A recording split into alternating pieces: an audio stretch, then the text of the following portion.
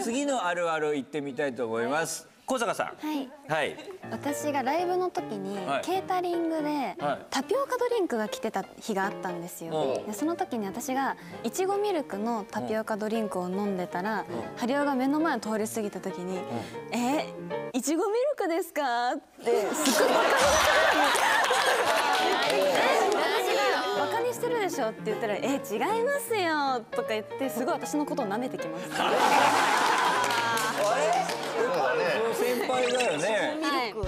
なんか小坂さんにいちごミルクっていう、うん。なんていうんですかね感じがなくて私的に。小坂がアイスコーヒーとか飲んでた場合は別に。あアイスコーヒー飲めるんですね。